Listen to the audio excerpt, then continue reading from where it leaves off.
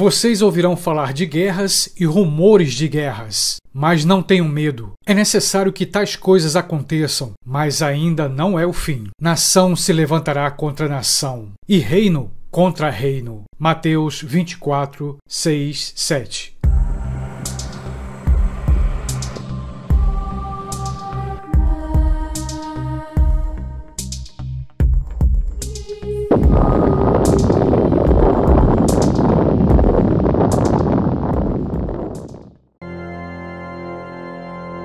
Olá, família do canal Quase Tudo. Olá, você que está visitando o canal pela primeira vez. Sejam todos muito bem-vindos. Olha só, em vídeos anteriores falei sobre o fim do mundo, sobre o apocalipse e sempre procuro destacar uma ameaça, uma grande e perigosa ameaça à humanidade. Que ameaça é essa? Uma possível guerra mundial. O que nos leva a perguntar: estamos vivendo o início das dores? Estamos próximos do Armagedon? Estamos vendo os sinais do Apocalipse? Acredito que todo cristão, todos que têm fé na Bíblia Sagrada, devem refletir sobre essas perguntas. Digo isso porque devemos olhar para o que está acontecendo no mundo e, a partir desse olhar, tentar compreender os sinais do fim dos tempos. Sinais que podemos ler na Bíblia.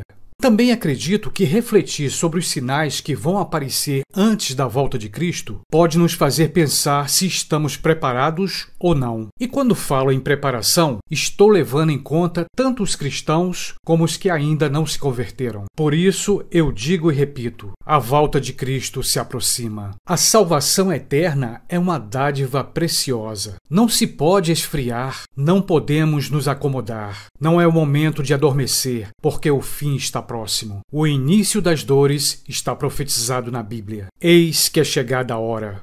Mas antes de falar sobre esse tema, gostaria de fazer um convite para os visitantes que ainda não se inscreveram no canal. Se você deseja ajudar e colaborar na divulgação do Evangelho, mas não sabe como fazer, siga esses passos bem rápidos. No seu celular, você abre o aplicativo do YouTube. Então você entra no meu canal e clica em inscrever-se. Depois, você vai mais à direita e clica no sininho. Isso para você receber notificações de novos vídeos que postei no canal. Agora atenção, quando você clicar no sininho, vai aparecer três opções. Clique na opção Todas, para que você não perca nenhum vídeo. E aqui uma coisa importante: não esquece de deixar o seu like depois que assistir o vídeo, ok?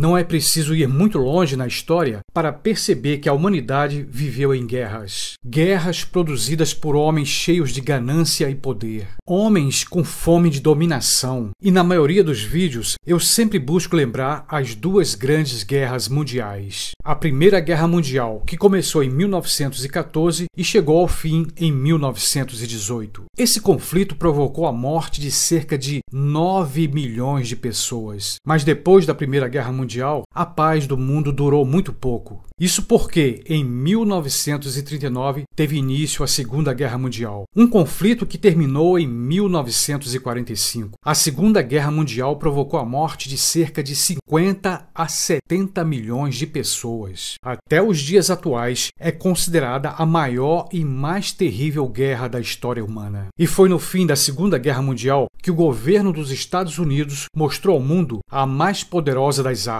a primeira bomba nuclear. Esse dispositivo explosivo foi lançado sobre as cidades de Hiroshima e Nagasaki, no Japão. Isso em agosto de 1945. Uma explosão que matou cerca de 250 mil pessoas na hora. O Japão sentiu na pele o que é o poder da destruição de uma arma nuclear. Foi então que o mundo entrou na página sombria de um conflito fatal. A humanidade viu nascer as armas de destruição em massa. Nascia também o medo de uma terceira guerra mundial.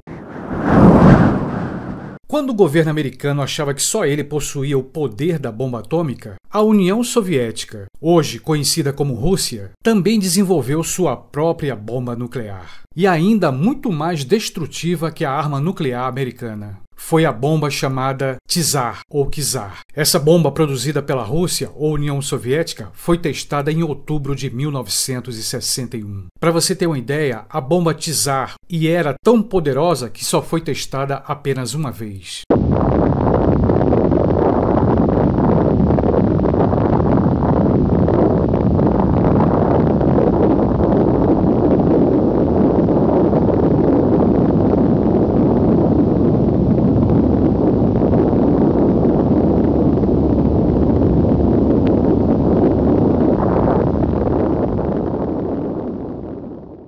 Começava então a Guerra Fria entre a antiga União Soviética e os Estados Unidos. E aqui, só para quem não sabe, a expressão Guerra Fria significa uma guerra de constantes ameaças, guerra de palavras e discursos que podem levar o mundo a um conflito mundial mas dessa vez com armas nucleares. E sobre Guerra Fria em nossos dias, peço que você leia comigo essa matéria. Reino Unido adota a estratégia da Guerra Fria para combater a ameaça da Rússia. Um conflito mundial na atualidade seria o Armagedon, seria o extermínio de milhões de milhões de pessoas. E os governos dos países que possuem bombas nucleares continuam se ameaçando. E para entender um pouco do que está acontecendo, devemos ver o que a mídia fala sobre isso. Isso porque o que a maioria de nós sabe vem da imprensa escrita ou televisionada, sem falar da internet e suas várias informações. Sendo assim, acompanha comigo o título dessas matérias: Retórica de Donald Trump contra a Coreia do Norte e Irã aumenta risco nuclear. Erros técnicos e falha humana. Três momentos em que o mundo esteve à beira da guerra nuclear. Estados Unidos aumentam presença no Oriente Médio com 14 mil militares desde maio. Premier do Paquistão pede que o mundo atue para evitar guerra nuclear com a Índia. Uma observação: quem desejar ler essas matérias ou essas reportagens completas, eu vou deixar o link aqui na descrição. Agora, voltando ao nosso ponto: o perigoso arsenal nuclear espalhado entre países é capaz de destruir a Terra várias vezes. Tudo leva a crer que o cenário internacional se prepara para uma guerra, rumores e ameaças de um conflito mundial. A gente não pode esquecer que, em nossos dias, o mundo vive uma falsa paz. Vários conflitos regionais estão acontecendo neste momento, e especialmente no Oriente Médio. Só para você ter uma ideia, a Síria está vivendo um verdadeiro caos. A barbaridade das ideologias políticas e militares está exterminando milhares de vidas naquele país. E vale lembrar que a Rússia apoia o governo da Síria, enquanto os Estados Unidos querem derrubar esse governo. As duas maiores potências militares do mundo à beira de um conflito no Oriente Médio. E ainda não se pode esquecer as ameaças de uma guerra entre Israel e o Irã. O governo desses dois países do Oriente Médio podem entrar em guerra a qualquer momento. Vale lembrar que Israel possui armas nucleares e conta com o apoio dos Estados Unidos. Parece que o cenário de uma grande batalha está sendo preparado no Oriente Médio, possivelmente o Armagedon, talvez a batalha final. Mas se a gente olhar para o leste da Ásia, vamos ver outro cenário assustador a Coreia do Norte e os Estados Unidos. Apesar de ser um país pequeno, a Coreia do Norte tem armas nucleares. E se acontecer dos Estados Unidos atacar a Coreia do Norte, pode acabar envolvendo a China e a Rússia no conflito. O que seria uma catástrofe global, pois as maiores potências militares do mundo não são amigas. Como eu destaquei antes, Rússia e Estados Unidos vivem uma guerra fria, uma guerra ideológica e de ameaças desde a década de 50. Nos dias de hoje, parece que o mundo chegou ao seu limite. O avanço da tecnologia alcançou um ponto que ninguém podia imaginar. Mas se o conhecimento e a ciência avançaram, não se pode dizer o mesmo dos homens. O ser humano continua preso na violência e na falta de amor ao próximo. Sendo assim, diante de uma possível terceira guerra mundial, de uma possível catástrofe nuclear, surge a pergunta: o que fazer?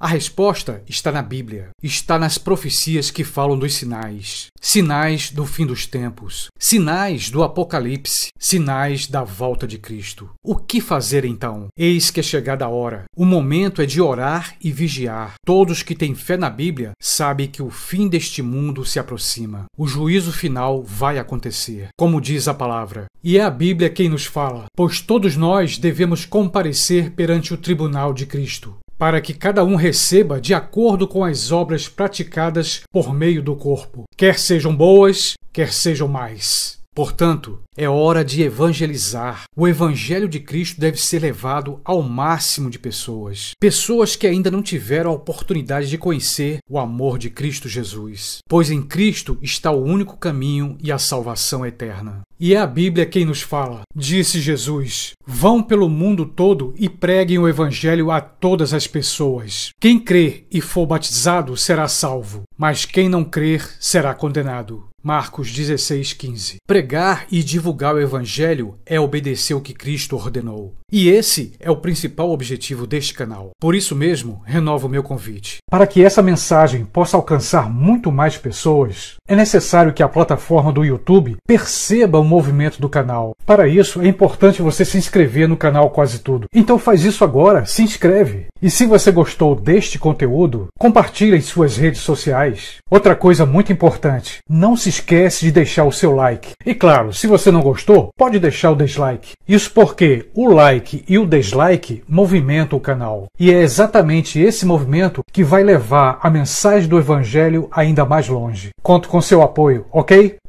Beijão e até o próximo vídeo.